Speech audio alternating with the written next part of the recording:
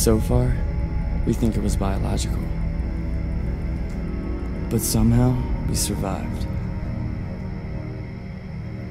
I've read enough apocalypse fiction for a lifetime. And Corey's ex Army Special Forces, so for now, we're still breathing.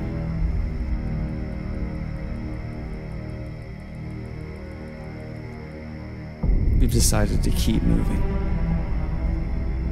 The hardest part is not knowing what the fuck happened.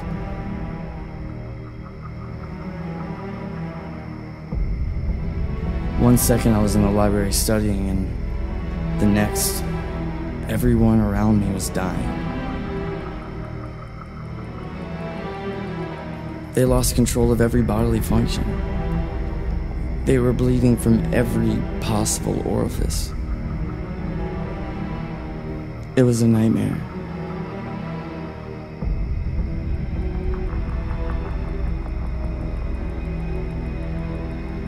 It's been the only thing running through my mind as we search for a place to hold up. Anywhere without a single rotting corpse. A month ago, I would have killed for some peace and quiet.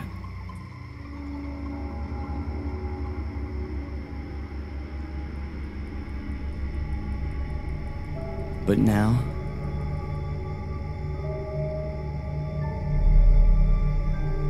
I'd die just to hear a new voice again.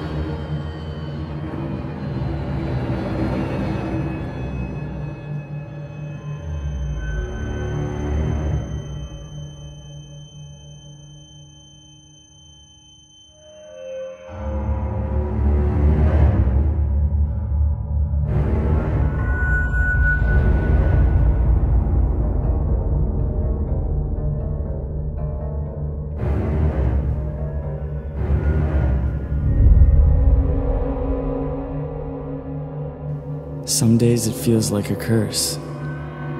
But for some reason, Corey and I,